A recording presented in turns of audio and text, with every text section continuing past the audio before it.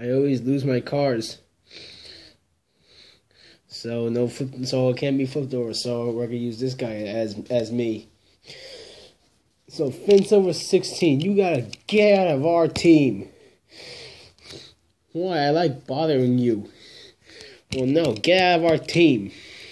You suck. You're a rookie. You suck. Not like our awesome guys over there.